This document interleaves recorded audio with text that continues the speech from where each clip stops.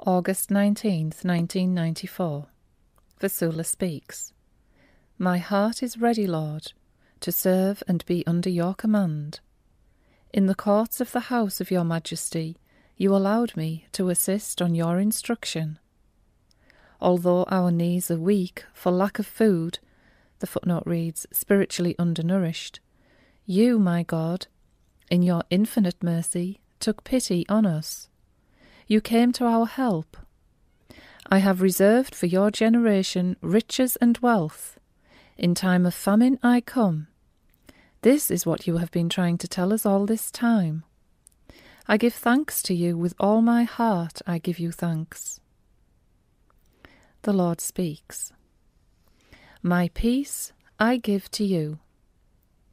In my heart lie many treasures and I have shown you now these inexhaustible riches to you. I love you, never doubt of my love. I had once said that this treasure would be reserved for your times, these times when humanity is at its lowest, and when it's in its so deplorable state, the beast would be permitted to tempt all of you. This is why I am asking you to pray more, to fast, and to follow my rules. Open your heart to me, and die to yourselves.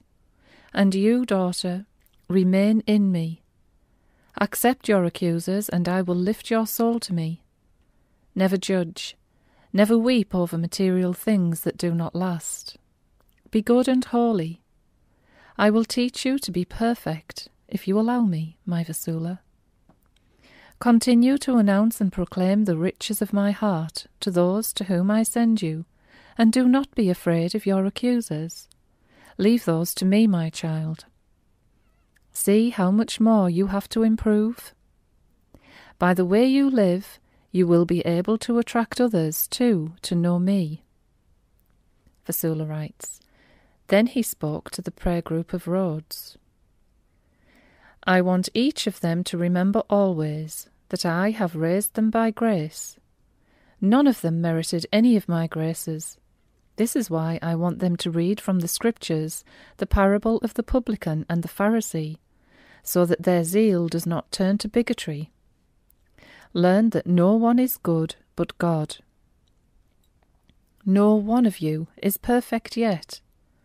You have still very much to learn, and you have to learn the patience of the Father, the love and the meekness I show to you all, the absolute holiness and tenderness of my Holy Spirit. This is all for now, daughter. Bless me and love me. I, Jesus, bless you, pupil of mine.